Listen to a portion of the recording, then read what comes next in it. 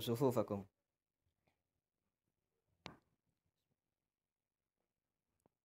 الله أكبر.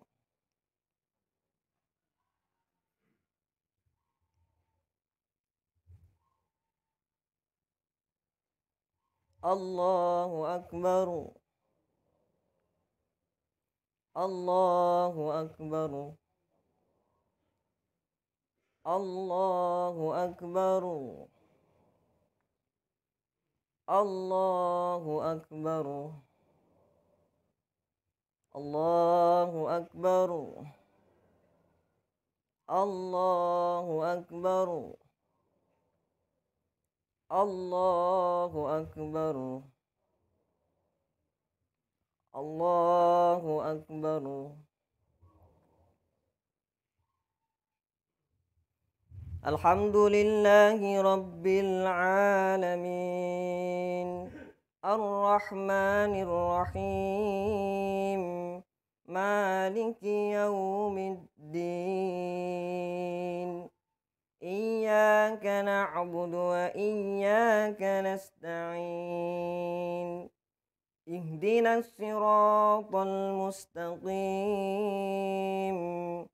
صراط الذين أنعمت عليهم غير المغضوب عليهم ولا الضالين.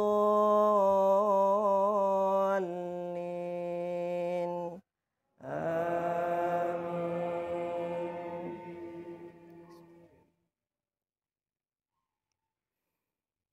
سبح اسم ربك الأعلى.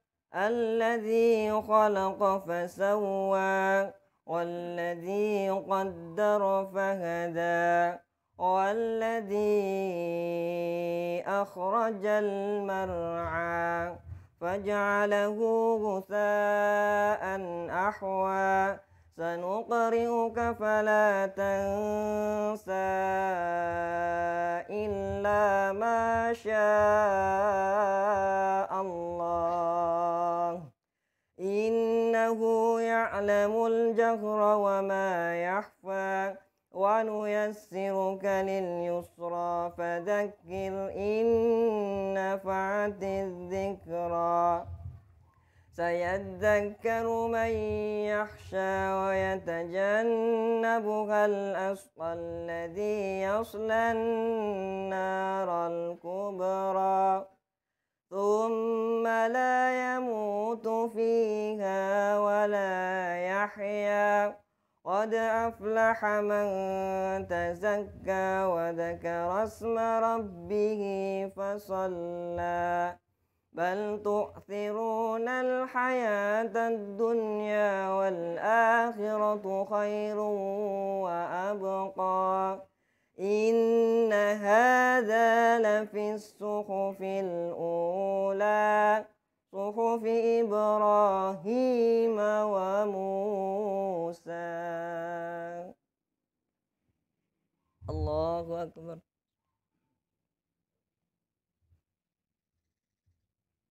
سمع الله لمن حمده.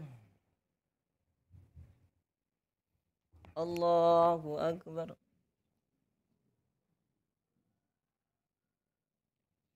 الله أكبر. الله أكبر.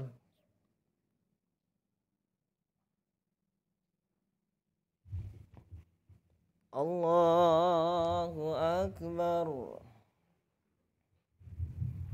الله أكبر. الله أكبر. الله أكبر. الله أكبر. الله أكبر. الحمد لله رب العالمين. الرحمن الرحيم. مالك يوم الدين. إياك نعبد وإياك نستعين. اهدنا الصراط المستقيم. صراط الذين أنعمت عليهم غير المغضوب عليهم ولا الضالين.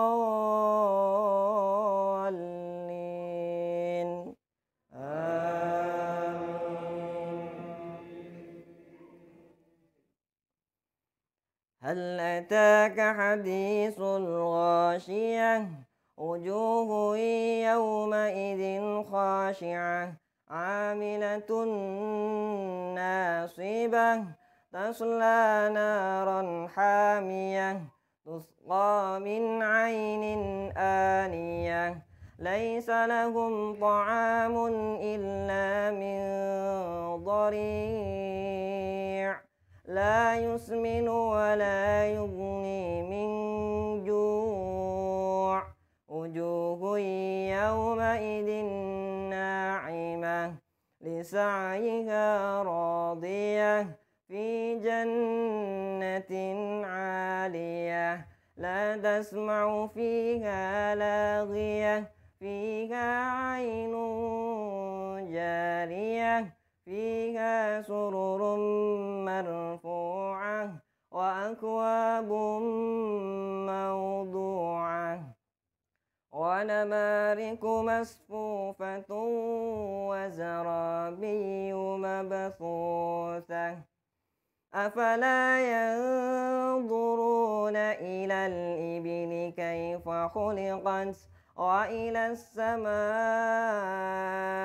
كيف رفعت وإلى الجبال كيف نسبت وإلى الأرض كيف سطحت.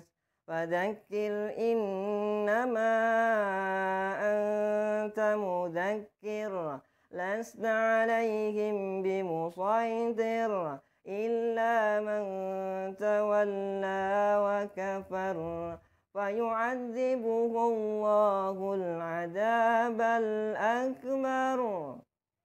إن إلينا إيابهم. ثم إن علينا حسابهم. الله أكبر. سمع الله لمن حمده. الله أكبر. الله أكبر. الله أكبر. الله أكبر.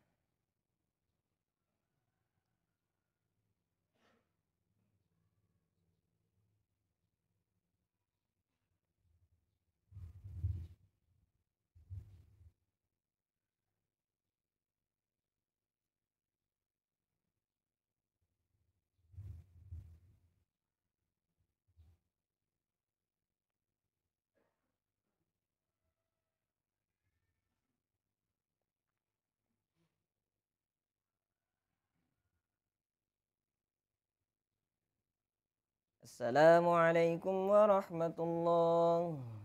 السلام عليكم ورحمة الله.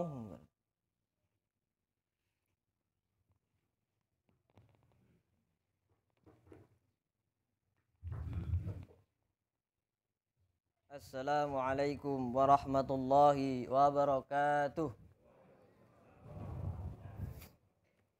الله أكبر. الله أكبر. لا إله إلا الله. الله أكبر. الله أكبر. ولله الحمد. الله أكبر كبيرا. والحمد لله كثيرا. وسبحان الله بكرة وأصيلا. لا إله إلا الله وحده. صدق وعده. ونصر عبده. وأعز جنده. وحزم الأحزاب وحده. لا إله إلا الله. الله أكبر. Walillahil hamd. Innal hamdalillah nahmaduhu wa nasta'inuhu wa nastaghfiruh wa na'udzu billahi min sururi anfusina wa min sayyiati a'malina may yahdillahu fala mudhillalah wa may yudlilhu fala hadiyalah. Asyhadu an la ilaha illallah وحده لا شريك له وأشهد أن محمدا عبده ورسوله لا نبي ورسول بعده الحمد لله هو Alhamdulillah. Walladhi anzala sakinata fi qulubil mu'minin Liasdadu imanan ma'imanihim. Segala puji bagi Allah Subhanahu wa taala Tuhan semesta alam yang telah mengumpulkan kita di hari yang mulia ini.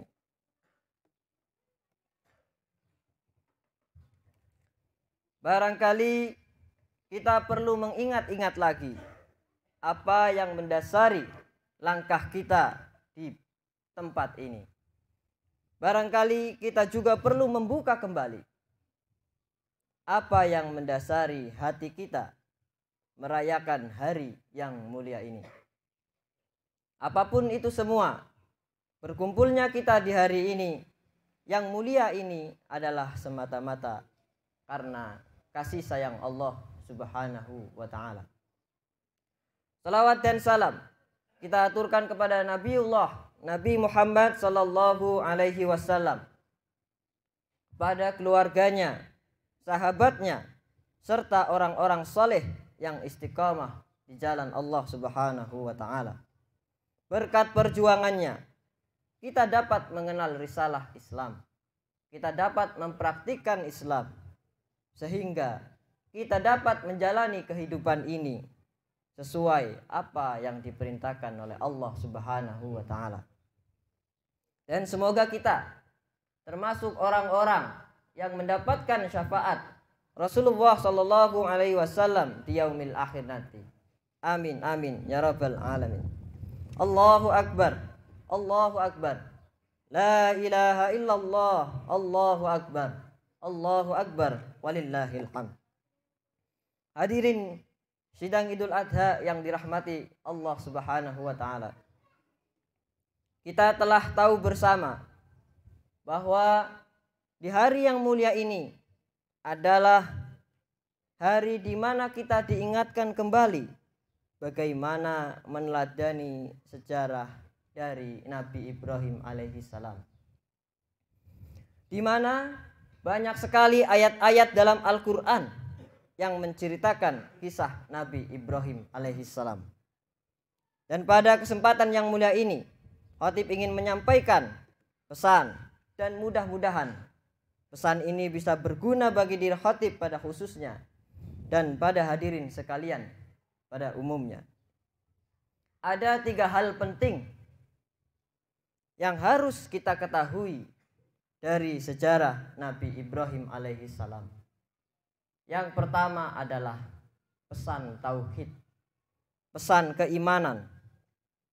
Nabi Ibrahim alaihissalam lahir di zaman Raja Namrud di mana pada zaman itu, pada saat itu orang-orang pada menyembah berhala.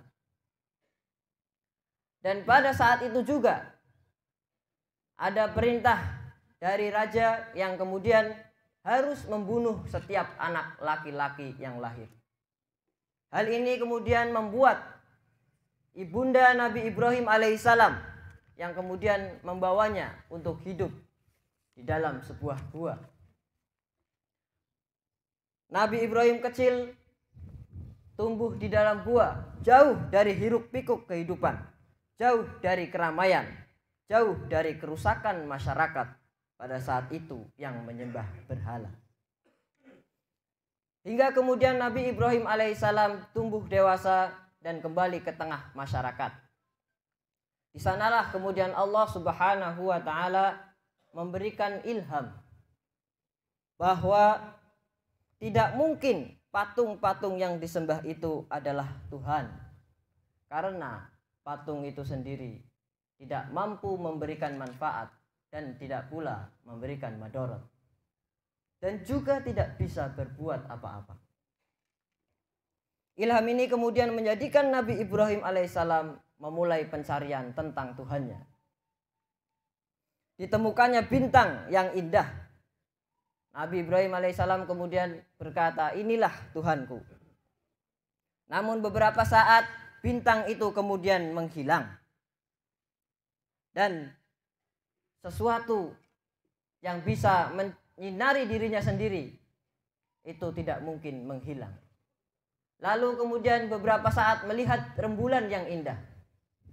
Barangkali ini Tuhanku, ini yang lebih besar daripada bintang. Namun beberapa saat kemudian rembulan itu pun juga menghilang. Kemudian esok harinya Nabi Ibrahim alaihissalam melihat matahari dengan mantap Nabi Ibrahim alaihissalam kemudian berkata, inilah Tuhanku. Hada Rabbi. Hada Akbar. Namun setelah sore, matahari pun kemudian menghilang. Nabi Ibrahim berkata, tidak mungkin Tuhan memiliki batas waktu. Nabi Ibrahim alaihissalam mengisyaratkan kepada kita bahwa ada sifat-sifat Tuhan dalam pencariannya. Yang pertama adalah bintang yang menerangi dirinya sendiri bahwa Tuhan itu pasti berdiri sendiri. Allah tidak redup dan tidak padam. Yang kedua adalah bulan yang tenggelam. Bahwa Tuhan tidak akan tenggelam karena tenggelam dan memiliki batas adalah sifat makhluk. Sedangkan Allah adalah sang pencipta. Yang ketiga adalah matahari yang tenggelam. Nabi Ibrahim alaihissalam berkata, Hada Robbi, Hada Akbar. Inilah Tuhanku yang besar. Nabi Ibrahim alaihissalam menyifati Allah yang maha besar. Dan yang maha besar tidak mungkin tenggelam. Ketika telah melihat tiga fenomena ini, yang sangat luar biasa, Nabi Ibrahim kemudian menyimpulkan bahwa ada zat, ada kekuatan yang telah menciptakan, mengatur alam raya ini. Dan Nabi Ibrahim benar-benar sadar bahwa ada zat yang absolut yang telah mengatur semua ini. Hal itu kemudian diabadikan dalam Quran surat Al-An'am ayat 79. Bismillahirrahmanirrahim. Inni wajjahtu wajhiya lilladzi fataras samawati wal ard hanifau wama ana minal musyrikin. Sesungguhnya aku menghadapkan diriku kepada Rob yang menciptakan langit dan bumi dan dengan cenderung kepada agama yang benar dan aku bukanlah orang-orang yang mempersekutukan Allah.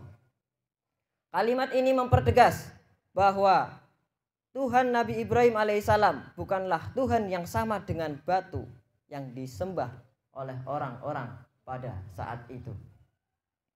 Kita dapat mengambil hikmah dalam kisah ini bahwa sampai saat ini di usia kita ini dalam setiap aktivitas yang kita lakukan adakah kita menyediakan waktu untuk merenung sejauh mana kita mengenal Allah Subhanahu wa taala. Allahu akbar. Allahu akbar. La ilaha illallah. Allahu Akbar. Allahu Akbar. Walillahil hamd. Kemudian yang kedua yaitu pesan tentang keluarga. Nabi Ibrahim alaihissalam lahir dari ayah yang menciptakan berhala, yang membuat berhala, yang membuat patung-patung untuk kemudian disembah. Kita barangkali bisa membayangkan bagaimana ketika kita memiliki orang tua yang seperti itu, barangkali kita akan marah, atau barangkali kita akan mencaci maki, atau barangkali kita akan meninggalkannya karena berbeda paham tentang Tuhan atau berbeda paham tentang sesuatu yang benar-benar kita yakini. Namun apa yang kemudian dilakukan oleh Nabi Ibrahim alaihissalam? Dia tidak marah, tidak meninggalkan ayahnya, tidak mencaci maki ayahnya, tapi kemudian selalu berdakwah, selalu berdakwah kepada ayahnya, mengesahkan Allah Subhanahu wa taala sampai kemudian pada puncaknya Nabi Ibrahim diusir oleh ayahnya. Baru setelah itu Nabi Ibrahim berdoa kepada Allah Subhanahu wa taala dan melepaskan diri dari sang ayah. Nabi Ibrahim alaihissalam adalah seorang yang lembut. yang sangat lembut hatinya. Dan hal ini dituangkan oleh Allah Subhanahu wa taala dalam surat At-Taubah ayat 114. Inna Ibrahim la awwal la awwahun halim. Sungguh Ibrahim itu adalah orang yang sangat lembut hatinya dan penyantun. Tugas sebagai nabi memanglah berat. Kita mengetahui ujian Nabi Ibrahim alaihissalam ketika harus hijrah dan meninggalkan istri dan anak yang masih bayi di dalam tanah yang gersang. Di sana ditampakkan oleh Allah sekelumit cerita keluarga yang sangat luar biasa. Manakala Nabi Ibrahim hendak meninggalkan istrinya, istrinya kemudian bertanya, "Hada min amri Rabbi." Apakah ini perintah Allah? Nabi Ibrahim menjawab tanpa menolehkan pandangannya, "Ya, ini perintah Allah." Istrinya kemudian menjawab, "Kalau ini memang perintah Allah, maka tinggalkanlah." Sekelumit cerita ini berarti sangat luar biasa sekali. Ketika pada saat itu Siti Hajar ditinggal oleh Nabi Ibrahim alaihissalam, Ismail kondisinya masih kecil, masih bayi. Dan di tanah yang sangat gersang, Ismail kemudian menangis kehausan. Kita bisa bayangkan barangkali Bagaimana seorang istri yang memiliki anak yang masih bayi ditinggal di tengah gurun pasir yang sangat gersang. Tanpa perbekalan, tidak ada uang, tidak ada Indomaret pada saat itu, atau lain sebagainya. Benar-benar ditinggal. Dan ini yang kemudian menjadikan pelajaran ketika Nabi Ismail menangis ternyata muncullah air dari telapak kakinya yang mungil. Barangkali kita mengetahui fenomena baby blues tentang kesetresan seorang ibu yang mengurus anaknya sehingga tega membunuh anaknya yang masih bayi yang tidak memiliki dosa. Kita bisa belajar dari Siti Hajar Bagaimana kemudian ketika ditinggal dia mampu bertahan bahkan mendidik Nabi Ismail alaihissalam menjadi seseorang anak yang sangat berbakti kepada kedua orang tuanya. Dalam sebuah riwayat, Ismail alaihissalam kemudian tumbuh dewasa. Hingga suatu saat Nabi Ibrahim alaihissalam ingin menjenguknya dan menyampaikan perintah untuk membangun Ka'bah. Ibrahim berkata kepada Ismail untuk membantunya. Apa jawaban Ismail? Dengan sigap Ismail alaihissalam membantu membawakan batu-batu yang akan disusun. Dan sekarang kita kenal dengan Hijir Ismail. Dari dua kisah di atas kita dapat melihat contoh kekompakan sebuah keluarga. Bagaimana seorang ayah yang bekerja, seorang ayah yang kemudian berdakwah, benar-benar didukung penuh oleh sang istri dan seorang anak yang sangat berbakti kepada kedua orang tuanya. Allahu Akbar, Allahu Akbar, La ilaha illallah, Allahu Akbar, Allahu Akbar, walillahil hamd. Dan pesan yang ketiga yaitu pesan spirit atau semangat untuk berbagi.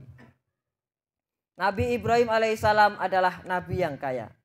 Dalam beberapa riwayat, Nabi Ibrahim alaihissalam memiliki 12.000 ekor ternak yang terdiri dari domba, lembu, dan unta. Ibrahim alaihissalam terkenal sebagai orang yang sangat dermawan pada saat itu. Setiap tamu yang hadir di rumahnya Nabi Ibrahim alaihissalam senantiasa menyembelih hewan ternak sebagai jamuan untuk tamunya. Bahkan dalam riwayat yang lain, Nabi Ibrahim alaihissalam juga sering mengajak tetangganya yang berjarak agak jauh dari rumahnya untuk bisa makan bersamanya. Orang-orang pada saat itu heran dan bertanya kepada Nabi Ibrahim alaihissalam, apa yang mendasari engkau memiliki sifat yang sangat dermawan?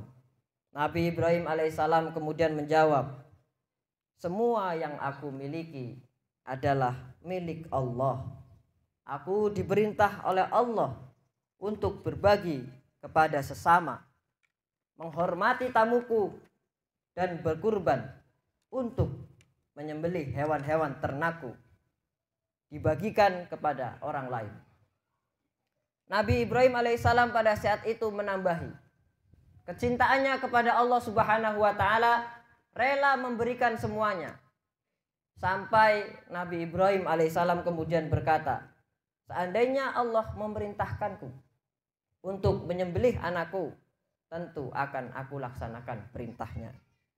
Atas ucapan ini Nabi Ibrahim alaihissalam kemudian diwahyukan lewat mimpinya untuk menyembelih Ismail alaihissalam.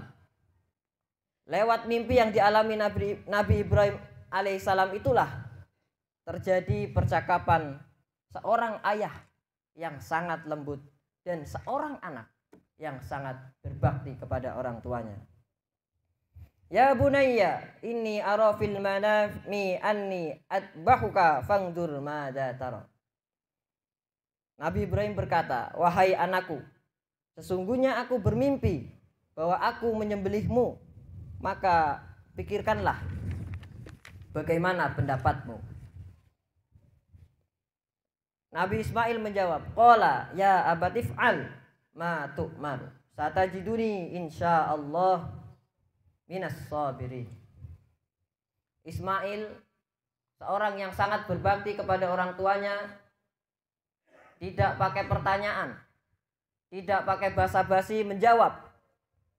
Wahai ayahku, laksanakan apa yang telah diwahyukan kepadamu. Insya Allah engkau akan mendapatiku termasuk orang yang sabar. Kita bisa melihat di sini bagaimana kemudian kebijaksanaan seorang ayah. Dalam kisah ini diriwayatkan Nabi Ismail baru berusia tujuh tahun.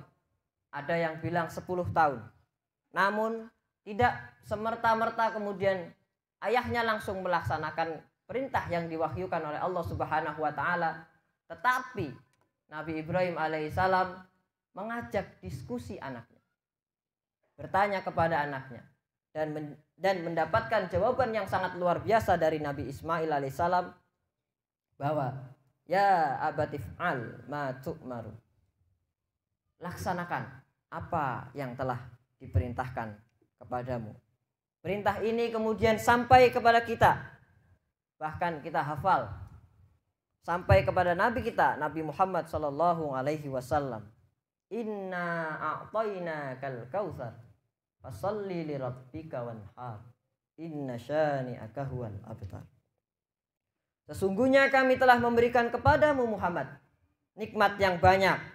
Maka dirikanlah solat dan berkurbanlah sebagai sarana mendekatkan diri kepada Allah. Sungguh orang yang membencimu adalah orang yang terputus dari rahmat Allah. Begitulah kisah Nabi Ibrahim alaihi salam kita mengetahui bahwa tiga pesan yang sangat luar biasa ini mudah-mudahan kemudian kita bisa menerapkan di dalam keluarga kita masing-masing. Bagaimana kemudian Nabi Ibrahim membawa pesan tauhid, membawa pesan tentang keharmonisan keluarga dan membawa pesan untuk senantiasa berbagi kepada sesama. Nabi Ibrahim adalah nabi yang sangat mulia. Oleh karenanya, diabadikan oleh Allah Subhanahu wa taala. Inna Allah astafa Adam wa Nuhan wa ala Ibrahim wa ala Imran alal alamin. Di sana Allah menyebutkan Nabi Adam. Kemudian Nabi Nuh tanpa keluarganya. Kemudian dilanjutkan wa ala Ibrahim dan keluarga Ibrahim wa ala Imran dan keluarga Imran melebihi segala umat pada masing-masing. Semoga Allah Subhanahu wa taala menerima ibadah salat kita dan ibadah kurban yang kita lakukan Dan semoga Allah Subhanahu wa taala menjadikan kita benar-benar sadar betul bahwa Nabi Ibrahim alaihissalam adalah bapaknya para nabi yang kemudian memberikan risalah kepada kita yang kita rayakan di hari yang mulia ini. Akhirnya kita berdoa kepada Allah Subhanahu wa taala supaya diberi kekuatan, diberi keistiqomahan dan benar-benar bisa mengimplementasikan apa-apa yang telah kita rayakan di hari yang mulia ini. Allahumma salli ala Muhammad wa ala ali Muhammad kama sallaita ala Ibrahim wa ala ali Ibrahim wa barik ala Muhammad wa ala ali Muhammad kama barakta ala Ibrahim wa ala ali Ibrahim innaka Hamidum Majid. Allahumma gfir lil muslimina wal muslimat wal mu'minina wal mu'minat wal ahya'i minhum wal anwat. Innaka sami'un qaribum mujibud da'wat. Allahumma gfir lana wali walidina warhamhum kama rabbayana sighara. Rabbana zalamna anfusana wa illam taghfir lana wa tarhamna lanakunanna minal khasirin. Rabbi habli minas salihin. Rabbana hablana min azwajina wa dhurriyyatina qurrata a'yun waj'alna lil muttaqina imama Allahumma arinal haqqa haqqa warzuqna istiba'ah wa arinal batila batila warzuqna istinabah Rabbana atina min ladunka rahmah wa hayyi lana min amrina rasyada. Rabbana atina fid dunya hasanah wa fil akhirati hasanah wa qina adzaban nar. Subhana rabbina rabbil izzati amma yasifun wa salamun alal mursalin walhamdulillahi rabbil alamin. Assalamualaikum warahmatullahi wabarakatuh.